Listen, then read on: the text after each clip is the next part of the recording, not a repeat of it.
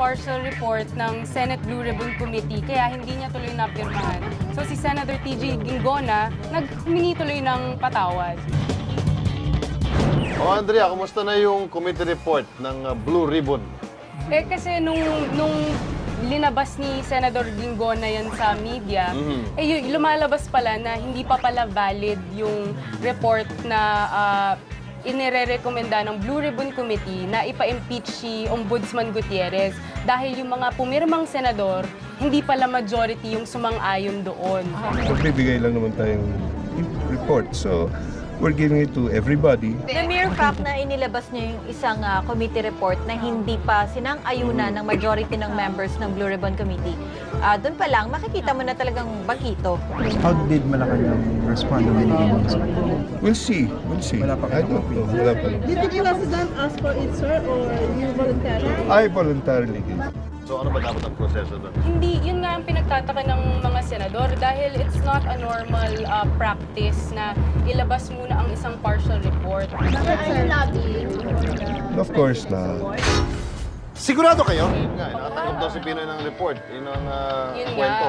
Pero Dahil- dinideny ng palasyo yan ah. Aha. Yeah. Na may Kaya lang- official ah, Oo. na kopya na binigay. It's not common practice, but uh, it is in the hope that uh, uh, it will act. It will also be acted upon since it has recommendations, hindi ba? Tapos bandang hapon naman, Cambio. That's why we checked and uh, Wala naman. there was a mistake. Uh, there was a mistake. I thought my staff sent. When we checked, hindi pala. Hindi. syempre tinanong ko, Sir, why would your staff make a mistake of saying that she sent? People make mistakes. Come on. No, but then he- she wouldn't be sending that. No, no. It, they, they made a mistake. Hindi ba ako'y tao lang na nasasaktan at natutuksuri? so yung araw nga na yon, parang si Senator Gingona yung star senator dahil lahat ng media hinahanap siya. Class! Our subject for today is Good Manners and Right Conduct by Senator TG. Ang topic, magalang na pananalita. Lesson number one. Kapag ayaw mo sagutin ang tanong, I don't know. Sabi na may sabi. Wala, wala. Wala talaga. ang sasabihin mo ay... Okay, thank you.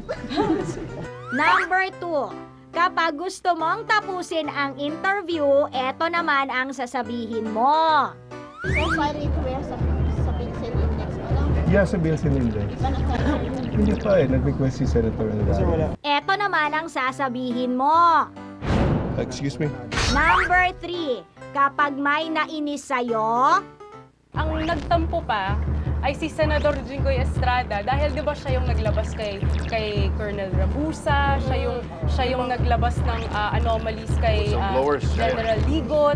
Tapos siya pa yung hindi nabigyan ng kopya nung day mismo na inilabas yung sa media yung report. Ah, yeah, that was an, an that was an administrative uh, oversight which we already rectified.